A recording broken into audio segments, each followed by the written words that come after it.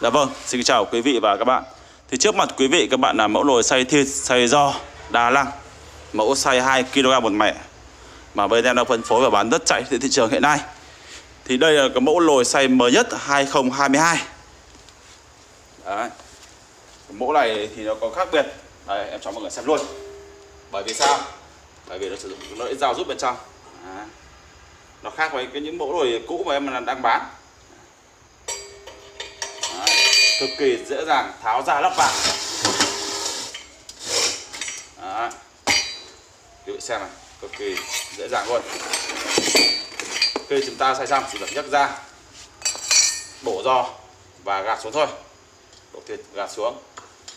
Và khi rửa cái chiếc máy này cũng cực kỳ đơn giản á, quý vị xem. Thì đồ đây là mẫu mới nhất 2022. Mẫu xay 1500W. Thì đôi đây cái mẫu này nó sẽ sử dụng cái lồi 24 cm. Đấy. Khá là lớn luôn. Và lưỡi dao của chúng ta đây. Và cái motor của nó thì là motor được cuốn 100% vào dây đồng. Nên nó sẽ sử dụng và nó sẽ bền bỉ với thời gian. Cũng như là chúng ta sẽ xây được uh, nhiều lần và sẽ nhiều mảnh trong một ngày mà không ảnh hưởng gì đến cái motor này cả và ở dưới chiếc motor này thì nó sẽ có một cái chiếc quạt tản nhiệt giúp motor của chúng ta hoạt động trong thời gian dài được. Nó sẽ làm mát cái motor này. Và như quý vị cũng nhìn thấy thì nó sẽ là khung bệ xong rồi chúng ta sẽ sử dụng inox cực kỳ sáng bóng, dễ dàng vệ sinh và lau chùi. Là khung ở khung chữ A, chắc chắn. Và ở dưới cái khung này thì nó sẽ có một cái ờ, lớp cao su để chống rung, chống giật trong quá trình xay của chúng ta. Thì đối với chiếc máy này cái ờ, lắp vung của nó thì nó thiết kế bên ngoài sẽ là inox còn ở giữa sẽ là lớp kính. Để chúng ta có thể nhìn thấy cái nguyên vật liệu đang xay bên trong cũng như cái thành phẩm của chúng ta. Đấy. còn đâu cái ờ, khi chúng ta tắt nguồn hay bật nguồn sẽ ở dưới này.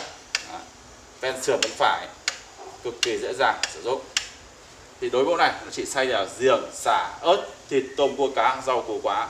Còn khi mà quý vị mà chủ yếu là xay giò thì chúng ta sẽ phải sang cái mẫu bên cạnh. Đấy ạ. Bởi vì sao? Bởi vì nó có cái bao đá xung quanh này. Đấy, giúp uh, thịt xay bên trong nó sẽ không bị chết thịt trong quá trình xay. Và nó cũng đầy đủ các ưu điểm giống cái máy bên cạnh. À, cũng là dao rút.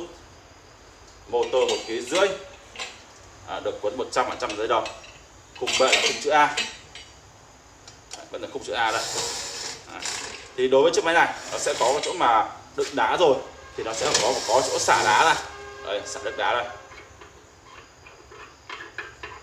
Khi chúng ta xay xong thì chúng ta xả nước đá ra vệ sinh xong lồi. Và cơ chế đổ thì cũng uh, giống như cái máy kia. Đọc kéo xuống đổ xuống. Thì chúng ta sẽ tháo dao. Tháo dao và gạt giò xuống. Thì đơn giản ai cũng có thể tháo dao vệ sinh dao vệ sinh máy được cả. Thì ở đây thì em cắm điện chạy thử cho quý vị xem cái chiếc máy nó chạy có êm không. Dạ. Rồi, điện 220V nhá quý vị lưu ý cho em một tí. Công tắc phân xưởng đây khi xay chúng ta sẽ à, đậy lớp kính lại à, ờ, tránh ờ, cái nguyên vật liệu nó bay ra ngoài. Mà khi mà xay đã chuẩn xác rồi ấy nó bỏ ra cũng được. Đó. không vấn đề gì cả. Tắt bật ven sườn cực kỳ dễ dàng.